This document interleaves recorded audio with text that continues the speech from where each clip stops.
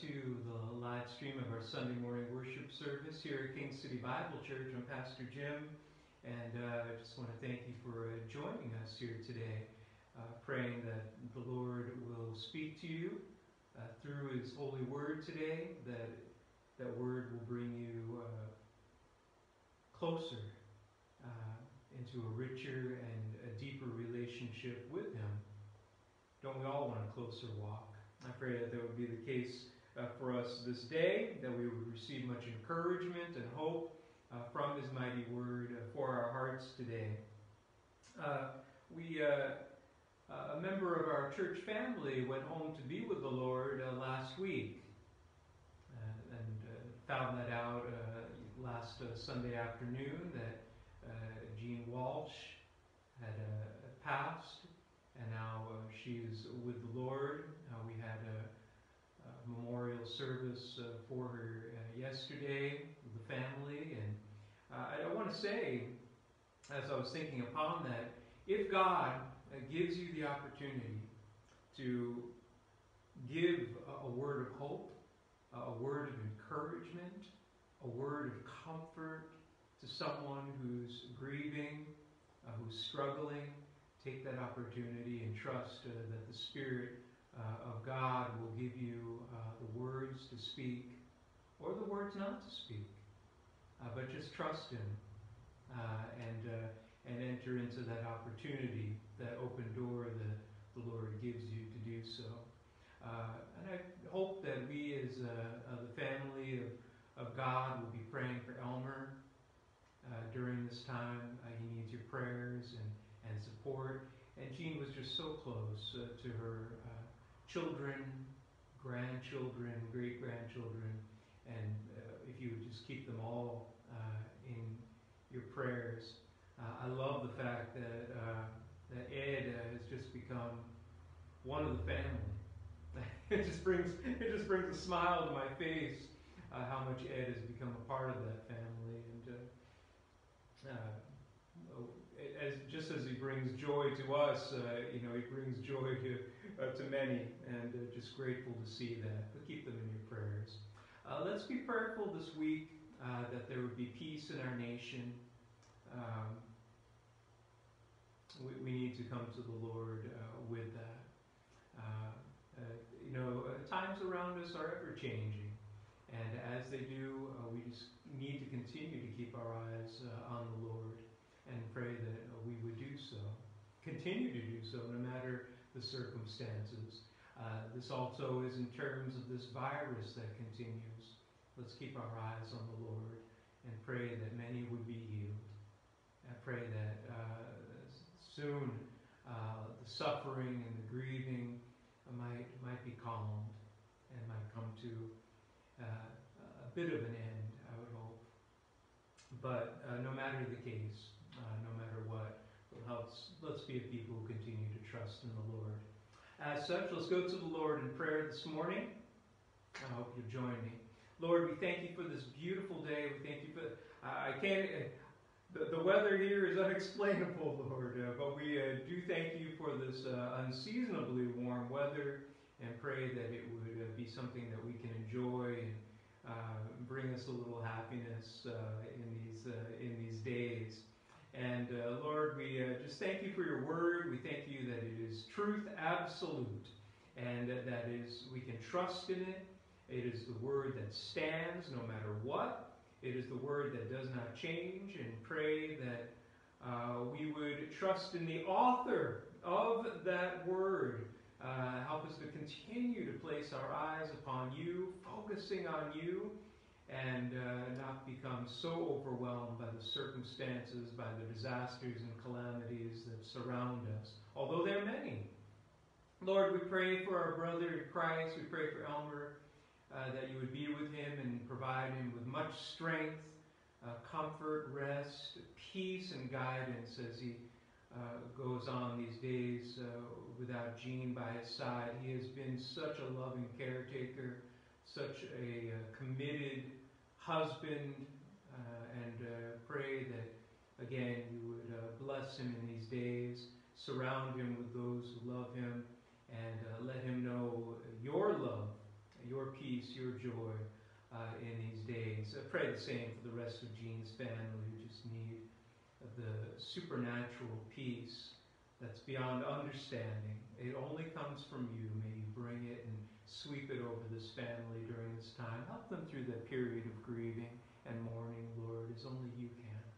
We pray, Lord, for uh, this week uh, ahead. Uh, again, Lord, that there would be peace in our, our nation, Lord.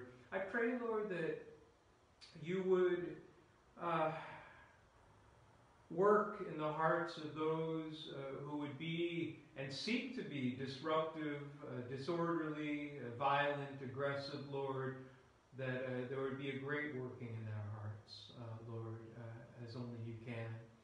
Um, a change of heart, a change of mind, that they might be able to express their, their disagreements, their disapprovals in another way, uh, that would not bring uh, hurt and uh, pain to others, Lord. Uh, I pray that we as uh, believers would continue to be a people who would do what is true, right, uh, noble, excellent, praiseworthy things in your sight, Lord, and that it would um, be an encouragement for others to do the same, Lord, to seek a life that would be pleasing to you. I, I pray these things, Lord, this morning in, in your name. I just again want to continue to pray for those who are suffering from uh, the loss of loved ones from this virus. Pray that uh, for those who are continuing to suffer uh, from this virus, whether it be mentally, physically, emotionally, spiritually, all of the above, Lord. Uh, it's, it's difficult upon those who are afflicted with it, upon those who are watching uh, their loved ones be afflicted. Help them, Lord. We pray for those who are serving them, uh, those uh, committed uh, care workers, Lord. Uh, be with them and strengthen them. help them to be safe and well as they administer care. And we pray, Lord, that there would be relief from this soon. Uh, but no matter if that's the case or not, uh, that we would keep our eyes on you. And so if it continues uh, long into this year, uh, help us to be a people who keep our eyes on you, uh, who continually trust in you and your sovereignty, your will, your purpose, your care. In Jesus' name. Amen. And uh, here we are again in uh, uh, Matthew uh, chapter 8 this morning. Uh, you might recall last week I, I, had said that it was back in early October uh, that I had taken notes from on Matthew chapter 8. And then I stopped. You know, I, I, left it there and didn't continue on. And, you know, to develop that into a message uh, to preach to you. Um, I abandoned those uh, for the sake of uh, some messages uh, from the Psalms uh, that I thought would be appropriate uh, during that time. So I'm trusting in the Lord's timing. I've taken those notes. I gave you part of that last week. and then spent the, this time developing the further notes from that chapter into a message to deliver to you this morning. I'm trusting the Lord's timing on this, uh, that uh, this is the right time uh, to deliver this message from Matthew uh, chapter 8. And uh, knowing that, uh, that should bring us some encouragement, just knowing that alone. So, uh, Matthew chapter 8, uh, last week we were looking at the uh, beginning uh, chapters, or, be, I'm sorry, excuse me, the beginning verses of this chapter, and we're going to uh, look at verses 23, uh, really 23 through 27, but I'm going to read through 32. And in fact, I might begin my reading this morning back in verse 18. I want us to get this full context here of what's happening. So, Matthew chapter 8, uh, beginning our uh, reading in verse uh, 18. When Jesus saw the crowd around him, and you'll remember that people had been coming to him, uh, you know, uh, with all their crises. You know, uh, they had seen the miracles that he had done, and they were coming out. Uh, in fact, we know that the, the village came out uh, seeking uh, to be healed, uh, for the spirits uh, to be driven from them. And so we read in verse 18 when Jesus saw the crowd around them, he gave orders to cross to the other side of the lake. And then a teacher of the law came to him and said, Teacher, I'll follow you wherever you go. And Jesus replied, Foxes have holes, and birds of the air have nests, but the Son of Man has no place to lay his head. Another disciple said to him, Lord, first, first let me go and bury my father. But Jesus told him, Follow me, and let the dead bury their own dead. And then, verse 23, he got into the boat, and his disciples followed him. Without warning, a, furious storm came upon the lake, so that the waves swept over the boat, but Jesus was sleeping. The disciples went and woke him, saying, Lord, save us, we're going to drown. He replied, You of little faith, why are you so afraid? Then he got up and rebuked the winds and the waves, and it was completely calm. The men were amazed and asked, What kind of man is this? Even the winds and the waves obey him. When he arrived uh, at the other side of the region of the Gadarenes, two demon-possessed men came from the tomb, coming from the tomb, met him. They were so violent that no one could pass that way. What do you want with us, Son of God? They shouted. Have you come here to torture us before the appointed time? Some distance from them, a large herd of pigs was feeding. The demons begged Jesus, If you drive us out, send us into the herd of pigs. He said to them, Go. So they came out and went into the pigs, and the whole herd rushed down the steep bank into the lake and died in the water. And we'll conclude our reading there for this morning, and may the Lord add his blessing to the reading uh, of our word. Last Sunday morning, I was emphasizing uh, a, a bit in the beginning verses of this chapter that Jesus had authority in his words. He spoke a word, and things started to happen.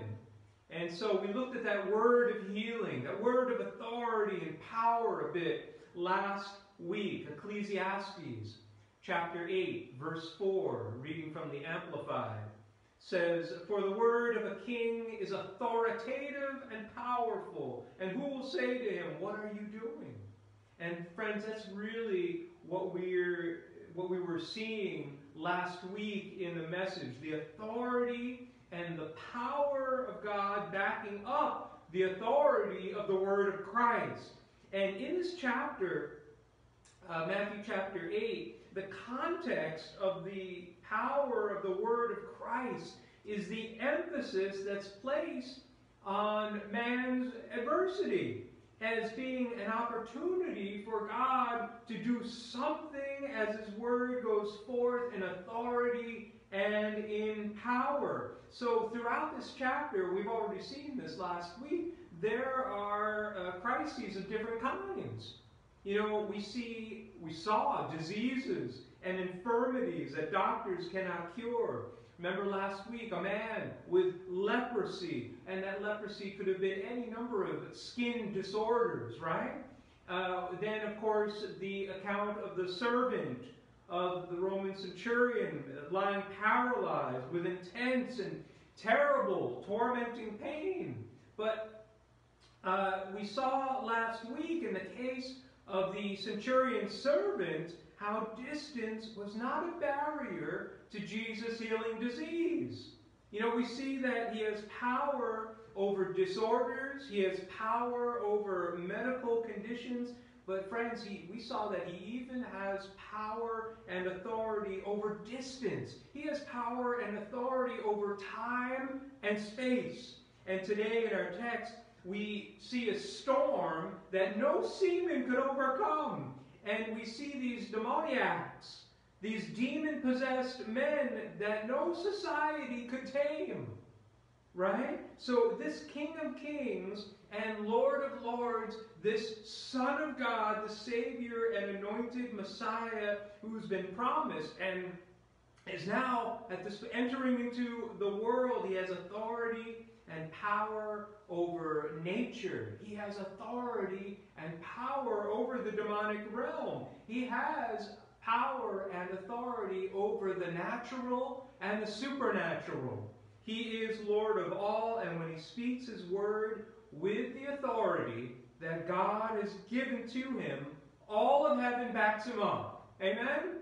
You know, I, I believe that he is the same today as he has ever been. The God of heaven, he is the great I am. He's the way he's always been, and he's the way he will always be. He is the eternal, great I am, the one who was, is, and ever shall be. And his Son, Jesus Christ, is the same yesterday and today and forever. And so, what we're seeing here in these accounts in this chapter, Matthew chapter 8 in particular, is that Jesus proved his sufficiency for every circumstance that life can throw at us. Friends, I want to encourage you today that Jesus is sufficient for everything that you face today.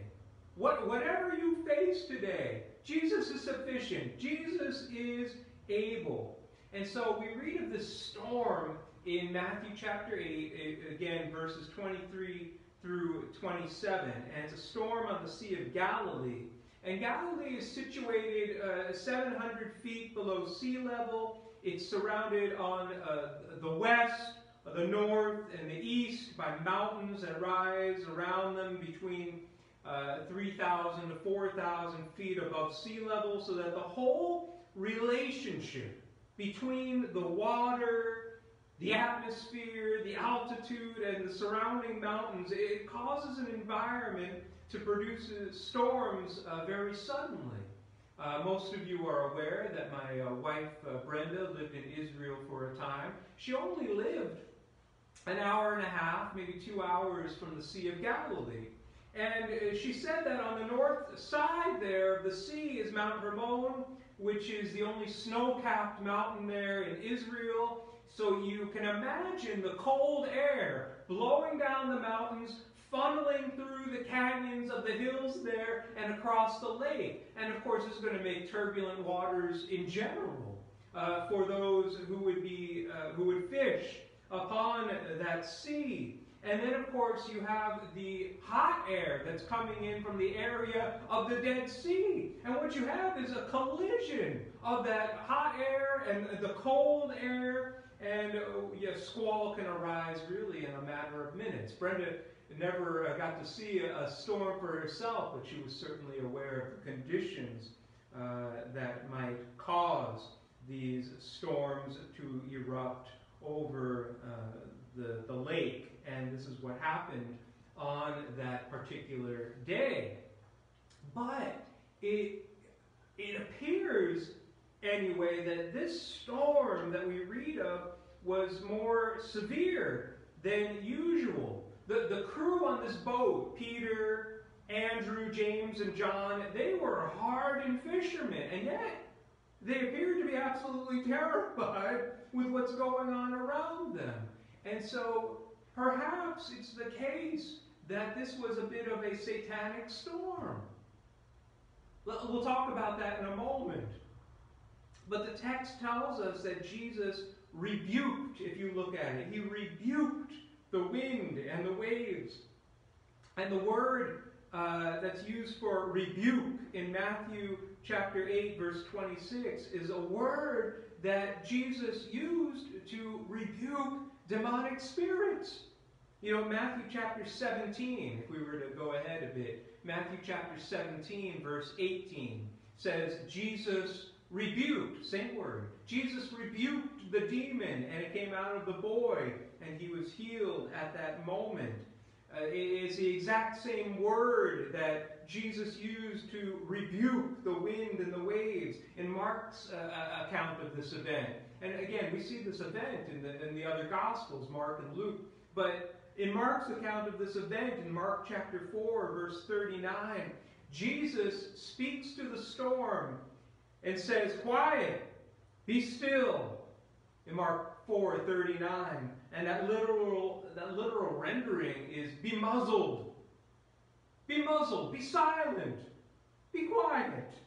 Right? And he uses that term, he uses that word over demonic spirits as well. And so there's almost, or there seems to be a, a personality, as it were, behind what's going on in nature with this storm, possibly.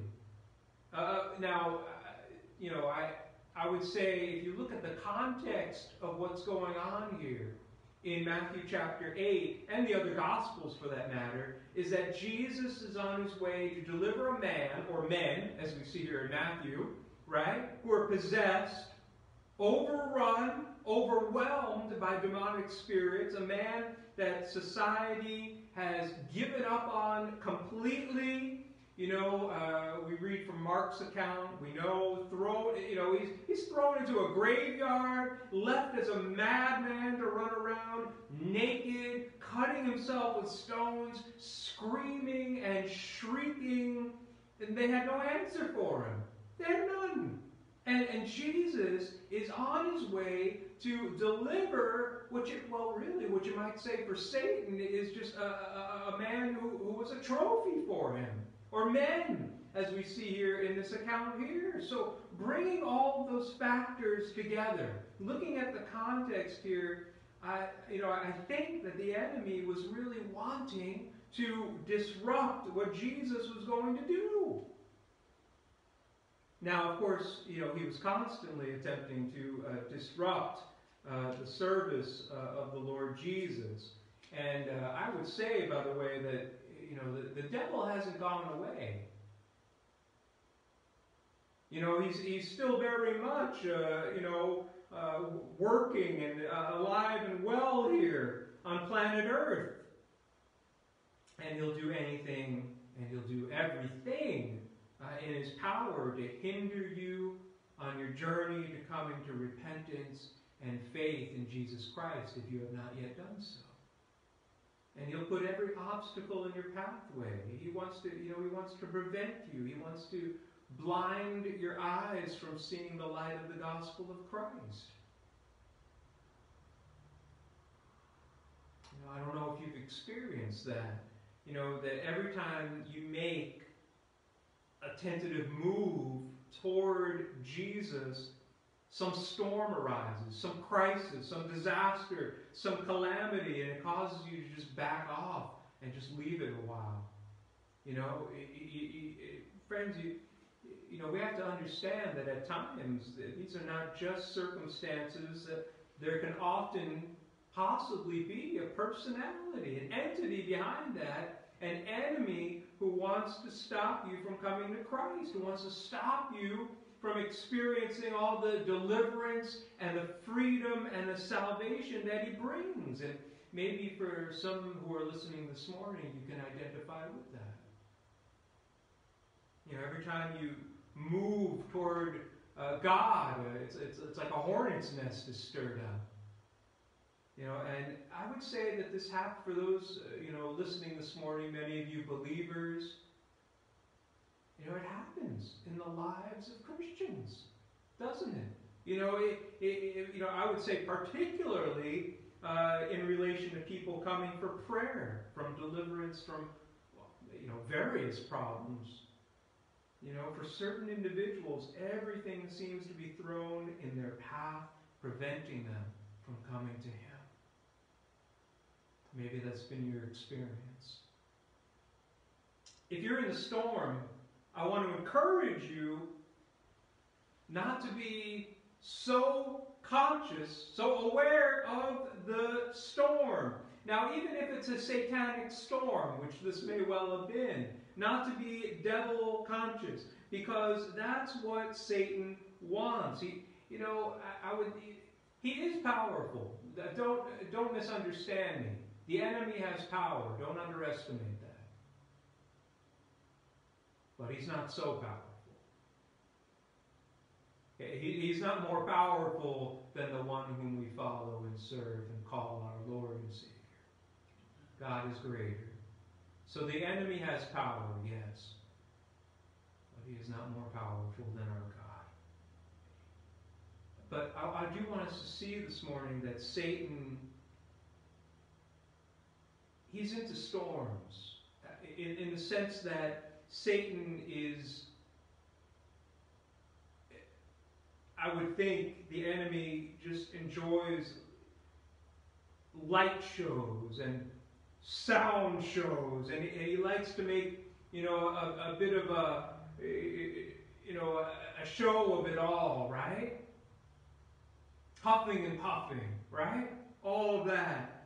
He wants to blow himself up. He wants to exaggerate himself and his power, you know, to make us think that he's greater than God. That's his objective. He wants us to think that he's more powerful. He wants us to think and believe that our God is weak. And what helps him is whenever it appears that God is asleep on the job. Jesus was asleep on this boat, and Satan wants us to think that God's forgotten us. Right? You know, he, he wants us to doubt God's goodness. He wants us to doubt God's love toward us. And that's the reason why in verse 25 of Matthew chapter 8, it says the disciples went and woke him, saying, Lord, save us. We're going to drown. Now, in Mark's account, the disciples say to Jesus, Mark chapter 4, the second part of verse 38, Teacher, don't you care if we drown? Do you, do you see that? You know, here in Matthew, Lord, save us. We're going to drown. In Mark, teacher, don't you care if we drown? Right? That was the motivation, friends. Not only to not, not only to save their own lives, but they were asking, Lord, how, how can you sleep through what we're going through? Don't you care? How can you, how can you sleep through this? But friends, the good news is that God is good. The good news is that God is good. And whatever, whatever, whatever huffing and, and puffing and blowing Satan is doing in whatever storms in our, God is good. He's always been good. He is still good, and He will always be good, and He is in control, just as He has always been, just as He always will be. You know, but if, you're going to enter into that blessing of, of God's goodness and God's providence in your life, you have to believe that He's good. You, you, you must believe. I have to believe that He is in control. Satan had been uh, permitted to, uh, I believe, interject momentarily with a storm. The disciples were just the disciples were, just aghast, you know. But, but God wasn't taken by surprise. God wasn't taken by surprise. If you look at verse 18, I, I want us to see this. You know, I, I think I think it'll open our eyes a little bit. Verse 18 of Matthew chapter 8, where we began our reading. So, leading up to this event, verse 18 says, When Jesus saw the crowd around him, look what it says, friends. He gave orders, he gave a command to cross to the other side of the lake. So, you, you, do you understand what that means? It, it, Jesus had given orders, he'd given the command to cross to the other side. He had given that word of authority, right? That's what we see there. And then if you look at uh, the first part of verse 28 of Matthew chapter 8, it says, When he arrived at the other side, the first part, when he had arrived at the other side of that region. So Let's put this together.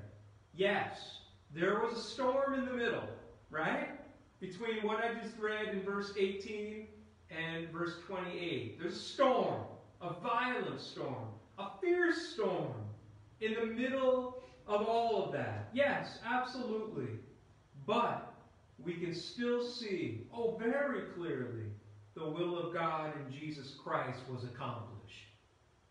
Jesus spoke the word of authority in verse 18, and in verse 28, it came to pass.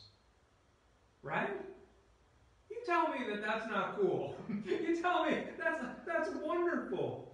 So, but then you know you might be saying, well, why the storm then? Right? Why the storm in the middle? Well, you know the disciples had to learn the lesson. The disciples had to pass that test of faith. They had to believe God's word. They had to believe that where the word of the king is, there is power. They had to believe that Jesus has the authority and that Jesus has the backing of all of heaven so that when he says something, it'll come to pass. Even if all the external factors and the environment seem to say everything to the contrary. That's the lesson uh, that not only the disciples had to learn, it's the lesson that we have to learn ourselves. Right? And it's a test of faith that all of us want to pass. You know, to, to believe God's word and the power of Christ, no matter what, through hell or high water, to believe, to believe in his word, the author of the word, to believe in him, to trust him, at what he says, to believe he's in control, to believe that he has the power and that he is able. You know, now, it might very well be the case that you yourself are facing a, a storm from the enemy, a satanic storm. And maybe it's the case that you haven't believed in the Lord Jesus really, sincerely, and repented and, and been converted to that life of freedom, salvation. But, you know, it might be the case that you've taken those steps toward that, but there's been a storm that's just hindering you. And, you know, or it's the other case where you've been a believer, walking with the Lord for, for a, a while now, and, and you just feel like you are just being pounded. You feel like you're being assaulted by the powers of darkness the winds and the waves as such. You know, well, friends, I want you to, and I want myself, all of us, to see the words of the King today, the King of Kings. The first word was a word of strong rebuke to the storm, right? We see that. He speaks to the storm and he commands it to be still, quiet, be still, as Mark put it, right? In his gospel. And so what we have to understand is the power of the King of Kings to speak to whatever enemies in our lives. But, but more than that, I think he, he's actually delegated, I talked a bit about this last week, he's actually delegated certain power and authority to us as Christians to speak to the enemy ourselves in our lives.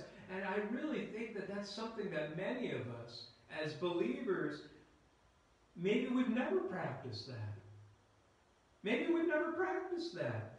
I want to take you to the Gospel of Luke quick. Luke chapter 10, verse 19.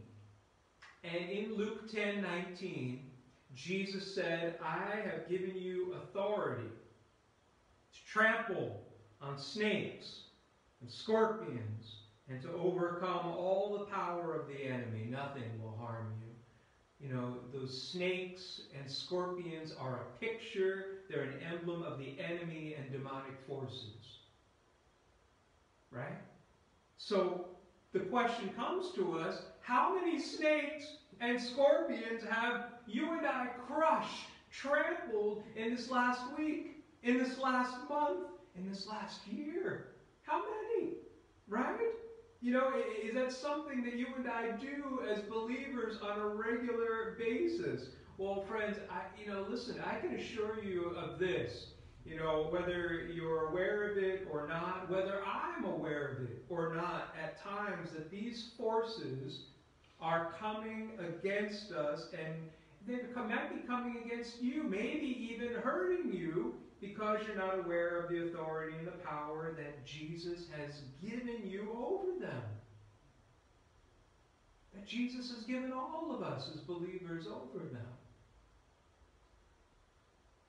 You know, in, uh, in, in the last book uh, of the Bible, in Revelation chapter 12, verse 11, and, you know, we're very familiar uh, with these words. Revelation 12, 11, it says, now it says this probably, you know, looking into the future slightly, right?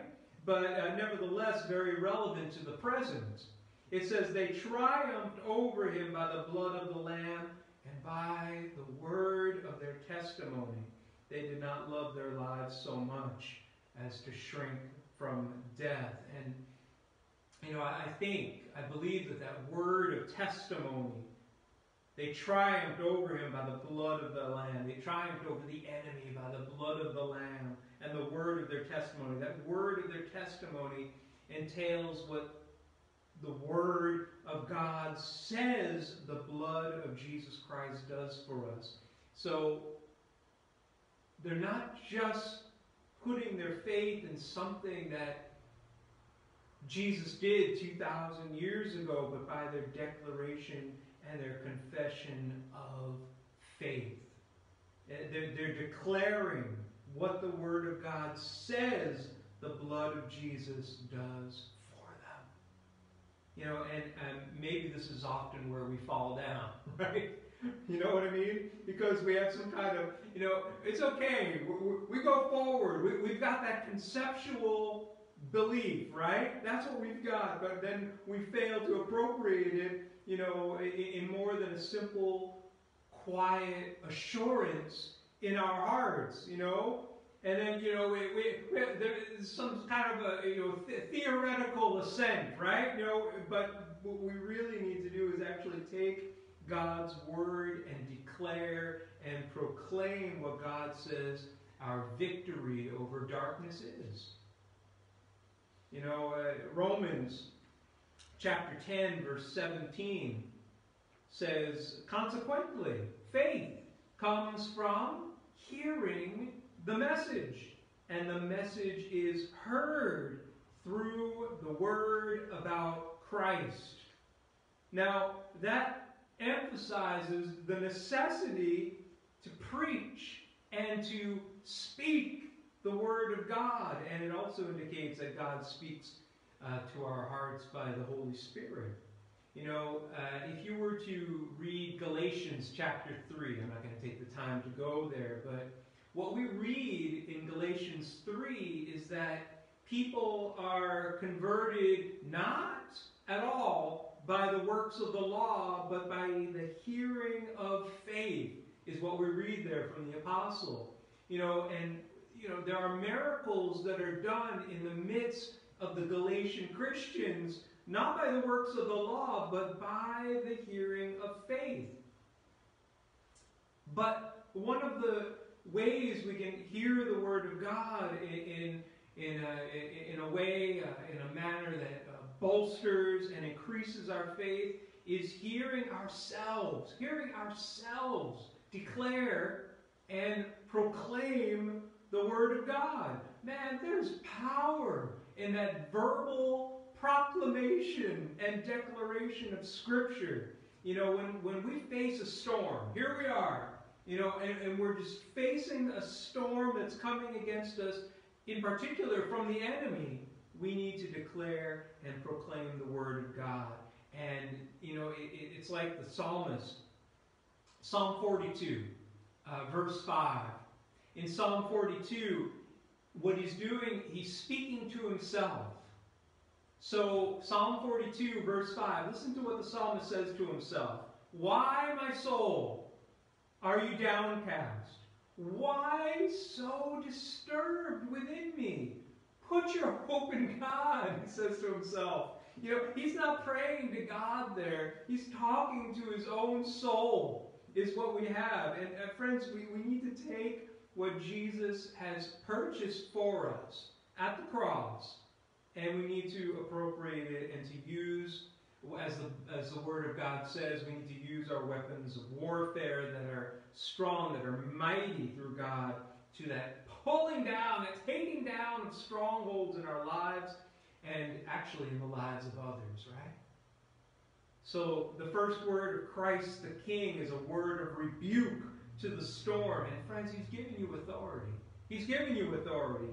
And maybe, I don't know, maybe it's the case that you've just been uh, passive uh, in a battle and you're, and you're conscious that it's from the enemy. Listen, God is saying, I believe that he's really saying to you today that you just need to get up. You need to take these weapons and the armor that God's given you through the blood of Jesus, and you need to start declaring and proclaiming the victory that, he, that He's given you. But now the second word, I think, was gentler, and it was a word of rebuke to the disciples. Again, verse 26 of Matthew chapter 8. He said to them, You have a little faith. Why are you so afraid? You know, now, why did he rebuke them? Right? Because they feared. They failed the test. You know, they, they needed faith to pass that test. They should have believed the word of Christ that we had read back in verse 18. It, you know, that, that same word that he gave in uh, Mark chapter 4, verse 35. Let us go over to the other side. All right? You know, we see here in Matthew chapter 8, verse 18, that he gave orders to cross over. Mark chapter 4, we see those words, let us go over to the other side. Right? Those are the words of Christ. He gave a command, the order to depart to the other side. Jesus did not say, hey, let's make an attempt to get to the other side, right? He didn't say that. You know, this is a very emphatic statement. Let us go to the other side. We have the order. He gave the command. You know, and again, faith comes by hearing the Word of God. So this was a very practical test of what they had heard. They heard that command. They had heard the order. You know, imagine for a moment if you and I were given a practical examination based on what we've heard over the years, right? Friends, this is the reason why God permits tests as such to come into our lives because I say this as a teacher. It's not enough to learn lessons. We need to live lives. We need to have experience, right, in our lives. You know, so the Lord rebuked them, well, not only because they failed to believe the promise, but secondly, they, they failed to recognize the presence of the incarnate Christ there in the midst in the boat. They were in the same boat as the very Son of God. And you might say, well, yes, but he was asleep, the text tells us. He was asleep. Yes, he was. But he was there. Friends, don't miss that. He was asleep, yes, absolutely. But friends, he was there. He was there. It says in Matthew chapter 8, verse 23, then he got into the boat and his disciples followed him. Don't miss that, friends. He got into the boat. His disciples followed him onto the boat. You know, in back in verse 18, he had spoken the word. They were following his bodily presence. And he was there with them. Friends, he is there with you. The Word of God. He is there with you. He wants to get into your boat. It is the reality. And what I mean is, He wants to be the captain. He wants to be Lord of your life. He wants to be in charge of your life. Um, now, of course, does any of this teach us that Christ will always uh, miraculously deliver us from all storms? Well, you know, it would be absolutely great if he did. Uh, but, you know, it, it doesn't. That's not what it teaches us. You know, he doesn't always miraculously deliver us from all these storms. We know that. And, uh, you know, uh, I would say maybe most of the time we could be very quickly delivered from, you know, from the satanic type of storm. But there are times when he allows and he even engages us in a particular storm for a purpose. You know, and, and there's a time period to it. I, you know, um, as we, uh, you know, as we look in Scripture, you know, we see that there are storms that people were delivered out of, right? We see it time and again, like the disciples here. But um, if you were to read in, uh, I think a good example is uh, is Acts uh, chapter 27. You a, there you have a literal storm in Acts chapter 27, and we see and we and I bring this up because in that chapter you see Paul the apostle, right? Paul, this is Paul, and he was of great faith, and in fact, he he stood in the midst of a storm, and he relayed there in Acts 27 how an angelic messenger from the Lord had given him the assurance that they would all live if they all obeyed what he was about to say. And he declared in verse 25 of Acts chapter 27. Acts 27, verse 25. I have faith in God that it will happen just as he told me. And it was as God had told him. But, but, he had to go through the storm. He had to go through a shipwreck. He had to go through it. Uh, Warren Wiersbe said the greatest danger was not the wind and the waves, but it was the unbelief in the disciples' hearts. He said our, our greatest problems are within us, not around us. Friends, can we say that someday, even in these days? That our greatest problems are within us, not around us. Now, sometimes God does save us from trouble, but other times He saves us in trouble. Sometimes He saves us from death, like uh, uh, Peter, who was uh, miraculously delivered from prison, remember, by those angelic messengers. And yet sometimes, and this is the hard one, he delivers us in death and uses our death for his glory, like uh, uh, like the Apostle James, who was beheaded. That's harder, right? But, you know, friends, whether in life and death, you know, friends, we're in the same boat. We're in the same boat as Christ. If he gets in that boat, you know, follow him. You know, and that's what the disciples failed to recognize. That they failed to engage their faith in the Word of God, and they failed to recognize their the presence of the incarnate God with them. And we can understand because we do this. You know, he says to us today, really, the Spirit of God says to us today those, those words that we hear in Romans chapter 8, verses 36 through 39. For your sake, we face death all day long. We're considered as sheep to be slaughtered. No, in all these things, we are more than conquerors through him who loved us. For I am convinced that neither death nor life. Yeah. Thank you, Bruce, for getting us back on.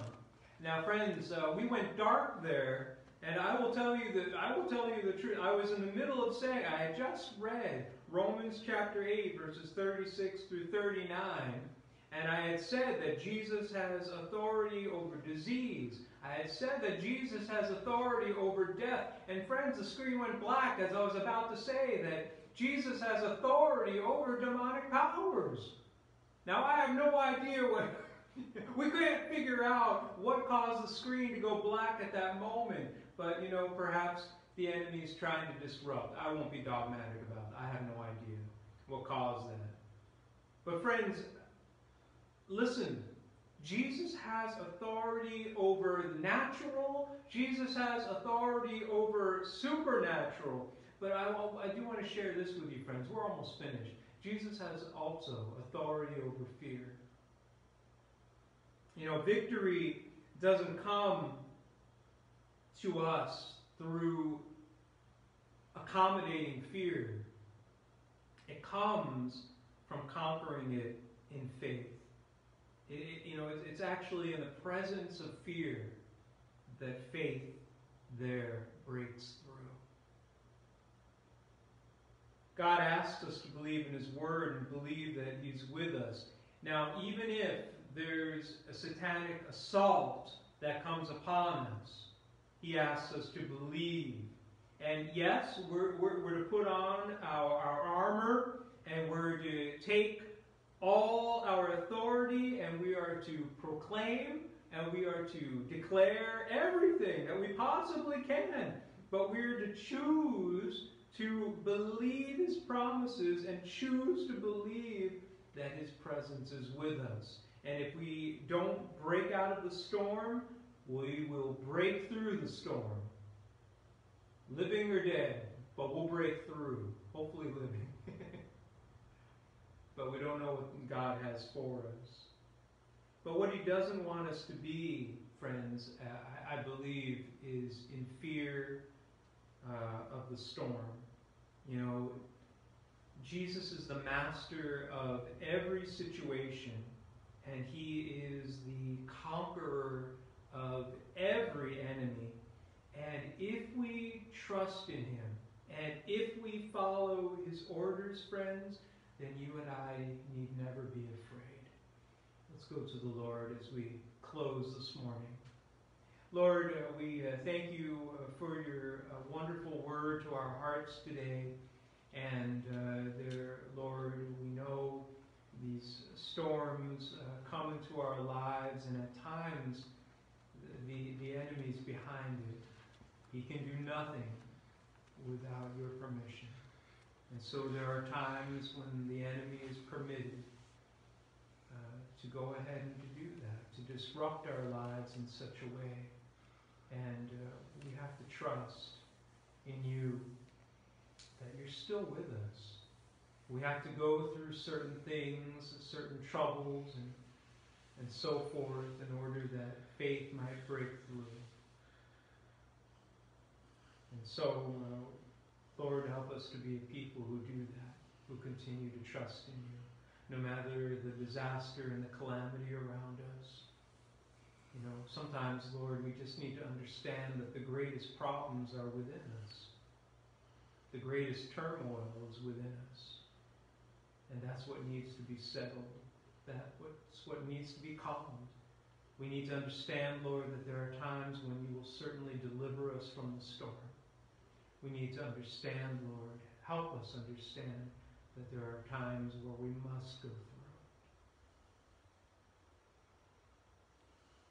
But help us, Lord, in the midst of all of it, to remember that you are good. It is a goodness that has always been. It is a goodness that always will be, and it is a goodness that is present with us now. I pray, Lord, that uh, we'll know this. We will hold it dear to our hearts as we go forth in these days. Be with each and all of these dear ones as they go through circumstances that surround them. And uh, perhaps they are at this very moment rather disastrous. I don't know. But whatever the circumstance, Lord, that, that you're with them and you will see them through. Lord, uh, uh, help us not to fall into the trap of believing that you're weak or that you've forgotten us. Such is not the case. You are far greater than the enemy. No one and nothing matches your strength and your power, and you have the word, the word of authority, the word of power, that word of healing, with just a word, that word you speak, things start to happen. Things happen. Now, Lord, we want to be a part of whatever happens. Help us to help us to recognize you there with us. I pray. Um, in Jesus' name, Amen.